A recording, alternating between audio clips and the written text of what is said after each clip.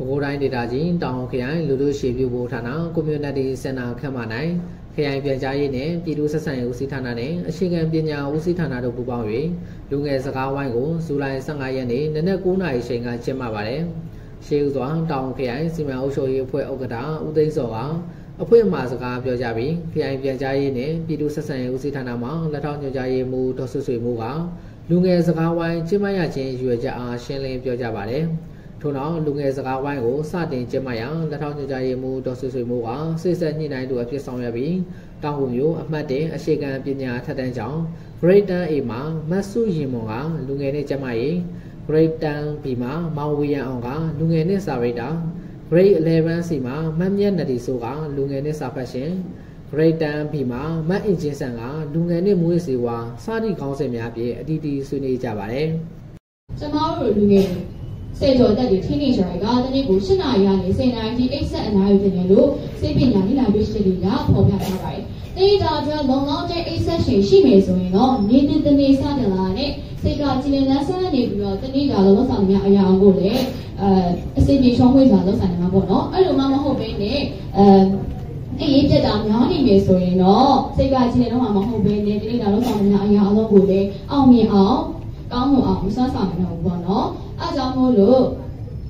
အဲအဲ့လိုမျိုးအဲ့အဲ့အဲ့ဒီပြက်တာများနေမယ်ဆိုရင်အုံနောက်ထင်းမှာ positive thinking တွေတောက်ဆုံးသွားပြီးတော့ negative thinking တွေရောက်လာမှာပဲအနောက်ဆက်တွဲယောဂဆိုးကျိုးအနေနဲ့ကတော့စီးကျိုယောဂသွေးကျိုယောဂနှလုံးယောဂပြီးတော့ ဒီနေ့လူငယ်နောက်ဝဲလူကြီးဆိုရဲစကားလိုက်ပါပဲကျွန်တော်တို့ဒီလူငယ်ဒီတိုင်းပြည်ကိုတောင်းမဲ့ဒီလူငယ်တွေဒီတိုင်းပြည်ကိုအုပ်ဆိုးချက်လေပဲဒီလူငယ်တွေအတိုင်းပြည်ရဲ့အနာဂတ်တွေဖြစ်ပါခင်ဗျဒီလူငယ်ရတာကျေးဇူးစားဆောင်ရမယ်ဆိုဒီတိုင်းပြည်ရတာရဝတ်ထွက်လာမှာဖြစ်ပါခင်ဗျလူငယ်ကောင်းမှာတိုင်းပြည်ကောင်းမှာဖြစ်ပါတယ်ခင်ဗျကျွန်တော်တို့လူငယ်တွေဟာတိုင်းပြည်ကိုထူထောင်မဲ့သားကောင်းရဲ့တရားမိကောင်းရဲ့တရားလေးဖြစ်ပါတယ်ခင်ဗျဒီတိုင်းပြည်ကိုထူထောင်မဲ့ဒီလူငယ်တွေကကိုယ်တမ်းမှာဘူးစိတ်သက်ကြခံမှုပညာ ဒါဝိဒကောင်းမှုစတဲ့အချက်သုံးချက်နဲ့ပြေးသွားရတယ်လိုအပ်ပါတယ်ခင်ဗျလူဖွဲ့စည်းဆိုတာလူနဲ့ဖွဲ့စည်းတာအရာတစ်ခုဖြစ်ပါတယ်လူကလူဖွဲ့စည်းနဲ့ပြင်နိုင်သလိုလူဖွဲ့စည်းရလဲလူမပါဘဲနဲ့မျက်တည်နိုင်ပါဘူးခင်ဗျဒါကြောင့်မို့ကျွန်တော်ဒီလူဖွဲ့ကြီးမှာပါမယ်လူငယ်တွေဟာကာယညာနာသာရိတဆိုတဲ့အချိန်က၃ရက်နဲ့ပါဝင်မှသာဒီလူဖွဲ့ကြီးရာရည်ရှိနဲ့အကျိုးတက်ရောက်နိုင်မှာဖြစ်ပါတယ်ဘုရားတိုင်းဒေသကြီးတောင်မြို့နယ်အရှိန်ပညာဆက်တဲ့ကြောင့်အထက်ကကြီးမှာပညာသင်ကြားနေတဲ့ကျောင်းသူလေးမဆမရှိပဲဖြစ်ပါတယ်ရှင်။ညီမကတော့ဒီနေ့မှာလူငယ်နဲ့စာဖတ်ရှင်ကြောင့်ပြောသွားတဲ့ဗာမ င်းဒီဆိုကိုမိခွင့်ပြုပြရစီရှင်။အမဆွေးနွေးပြပြသွားတာကကုသစာပေရသစာပေကိုဖတ်ရှုနေတယ်ပေါ့နော်။ဆိုတော့ကုသစာပေရသစာပေကိုဖတ်ရှုတဲ့အခါမှာဘယ်လိုလေးကျင့်အောင်ရပြီးတော့အပြင်လောကမှာဘယ်လိုနေထိုင်နေလဲသိချင်ပါတယ်ရှင်။အတုဒစာပေရသစာပေကိုညဉ့်ညတကြားဖတ်ရှုလေ့လာတဲ့လို့ထင်ပါတယ်ရှင်။ဘာလို့လဲဆိုတော့တုဒစာပေကိုဖတ်ရှုတဲ့အတွက်ကြောင့်မို့လို့တိုးတက်ပြောင်းလဲနေတဲ့ဤပညာတွေအဲစီးပွားရေးအရှင်တွေပေါ့နော်အဲ့လိုမျိုးဘဝတုတာတွေကိုတိုးတက်လာမှာပါ အဲပြီးတော့ဟိုရတစာပေကိုဖတ်ရှုတဲ့အတွက်ကြောင့်မလို့ပေါ့နော်လူကောင်လူလောကထဲမှာရှိရတိုင်းမှာဆောင်ရွက်တဲ့အရာတွေကိုယ့်ရဲ့ဘဝမှာအဲဖြစ်ပေါ်လာတဲ့အကြောင်းအရာတွေပေါ့နော်အဲ့လိုမျိုးအရာတွေကိုစဉ်းစားဆင်ခြင်နိုင်စေဖို့အတွက်တုဒ္ဒစာပေရတစာပေတွေကိုမျှမျှတတလေ့လာသင်တယ်လို့ကျွန်မအနေနဲ့ထင်ပါတယ်ရှင့်။ဟုတ်ကဲ့ဖြည့်ချပေးလို့ကျေးဇူးတင်ပါတယ်ရှင်။အားလုံးပဲမင်္ဂလာပါရှင်။သမီးကတော့ပဲခူးတိုင်းဒေသကြီးကေတုမတီခေါ်တောင်ငုံမျိုးရဲ့ကျတဲ့ဆောင် အထက်ကတဲ့အရှိခံပညာထက်တန်းကျောင်းမှာပညာသင် grade 10ပြီမှာပညာသင်ကြားနေတဲ့အကျောင်းသူလေးမတ်အင်ဂျင်ဆန်ပဲဖြစ်ပါရဲ့ရှင်။သမီးဒီနေ့ပြောပြပေးသွားတဲ့အကြောင်းအရာတွေကတော့လူငယ်နဲ့မူရစ်စေဆိုတဲ့ခေါင်းစဉ်ပေါ်မှာရှေ့ခံထားတယ်။အဲ့လိုပဲသူများရေပြောသွားတဲ့ခေါင်းစဉ်လေးတစ်ခုချင်းစီတိုင်းလည်းရှိတယ်။သမီးတို့တွေအဲ့ဒီခေါင်းစဉ်တွေထဲကနေပြီးတော့အဲ့ဒီအော်မတိလိုက်တဲ့တိလိုက်တဲ့အရာတွေဘ ഹു တုတ္တတွေသူပြောရတဲ့အထဲမှာလည်းဘ ഹു တုတ္တတွေအာခေါင်းစဉ်လေးလေးခုနဲ့ဆွေးသွားတယ်ဆွေးနွေးပေးသွားတယ် သူတွေမှာလည်းဘုသူတ္တလေးတွေရရှိသွားပါရှင်အဲ့ဒီသမီးဒီနေ့ပြောသွားတဲ့မူရစီထဲမှာဆိုလို့ရှိရင်ရင်ကသမီးမသိခဲ့တဲ့အရာတွေအခုစာဖတ်လိုက်ရှင်ဖြစ်အာစာဖတ်ပြီးတော့ဆွေးနွေးလိုက်ရှင်ဖြစ်သမီးသိရှိသွားရင်အဲ့လိုပဲလူမျိုးသိရှိစေဖို့သမီးတို့လိုပဲလူငယ်တွေနောက်ထပ်သိရှိစေဖို့အတွက်နောက်ထပ်စကားဝိုင်းတွေနောက်ထပ်နောက်ထပ်စာပေဟောပြောပွဲလောက်အာလောက်ပြီးအမှားရဲ့လို့နောက်တခါစကားဝိုင်းတွေထပ်ပြီးဆွေးနွေးရုံမဲဆိုရင်လည်းသမီးတို့ထပ်ပြီးပါဝင်ကြပါသေးရဲ့လို့ပြောကြလိုက်ပါရရှင်။ မင်္ဂလာပါရှင်။တမီကတော့ဘကိုးတိုင်းဒေသကြီးတောင်မှုမြို့နယ်အာထာကတေရှေခံပညာအထက်တန်းကျောင်းကျော်ကျောင်းတော်ကြီးမှာပညာသင်ကြားနေတဲ့ Great ခန်းကျောင်းသူလေးမတ်ဆွေမမဲဖြစ်ပါရဲ့ရှင်။ဒီနေ့တမီတညဆွေးနွေးခဲ့တဲ့လူငယ်စကားဝိုင်းမှာ တင်ပြဆွေးနွေးခဲ့တဲ့အကြောင်းအရာတွေကတော့လူငယ်နေ့ကျန်းမာရေးဆိုတဲ့ခေါင်းစဉ်လေးအောက်မှာအခြေခံပြီးတော့သမီးသိထားတဲ့ကျန်းမာရေးနဲ့ပတ်သက်တဲ့အကြောင်းအရာတွေလူငယ်တွေကကျန်းမာရေးကိုလိလိမှုရှိပဲတဲ့ကိစ္စတဲ့အကြောင်းဘယ်လိုနေထိုင်လိုက်ရင်ကျန်းမာရေးတွေကောင်းမယ်ဆိုတဲ့အကြောင်းလေးတွေကိုတင်ပြဆွေးနွေးသွားရဖြစ်ပါတယ်ရှင်။သမီးဒီနေ့လူငယ်စကားဝိုင်းမှာပါဝင်ဆွေးနွေးခဲ့ရတဲ့အတွက်လည်းအင်မတန်မှဝမ်းမြောက်ဝမ်းသာဖြစ်နေပါတယ်ရှင်။ဒီလိုမျိုးလူငယ်စကားဝိုင်းတွေ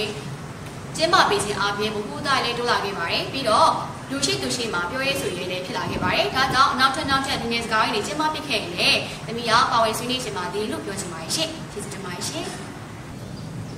အားလုံးပဲမင်္ဂလာပါရှင်။တမီးကတော့တောင်ဗဟိုတိုင်းဒေသကြီးတောင်ဝင်မြို့အမှတ်1ရှိကန်ပညာအထက်တန်းကျောင်းမှာပညာသင်ကြားနေတဲ့ grade 11မှာကျောင်းသူလေးမညံ့နေပြီဆိုပဲဖြစ်ပါတယ်ရှင်။အဲတမီးကတော့အခုဒီလူငယ်စကားဝိုင်းမှာပါဝင်ဆွေးနွေးခဲ့တင်ပြခဲ့တဲ့အကြောင်းအရာတွေကတော့လူငယ်နဲ့စာဖတ်ရှင်ဆိုတဲ့ခေါင်းစဉ်လေးအောက်မှာအခြေခံပြီးပြပြပေးသွားတာပဲဖြစ်ပါတယ်ရှင်။ တမီးအခုဆွေးနွေးခဲ့တဲ့ဆွေးနွေးတင်ပြခဲ့တဲ့လူငယ်နဲ့စာဖတ်ရှင်ဆိုတဲ့အကြောင်းအရာလေးကိုပေါ့နော်။တမီးကဆိုရင်လူငယ်တွေကိုဂျူးမျှဝေပေးရတဲ့အတွက်အလုံးတွေဝမ်းမြောက်ကုန်ပါဝမ်းမြောက်ကုန်ယူပါတယ်ရှင်။အဲပြီးတော့တမီးဆွေးနွေးတင်ပြခဲ့တဲ့စာဖတ်ရှင်ရဲ့ကောင်းကျိုးတွေကိုလည်းအဲတင်ပြခွင့်ရတဲ့အတွက်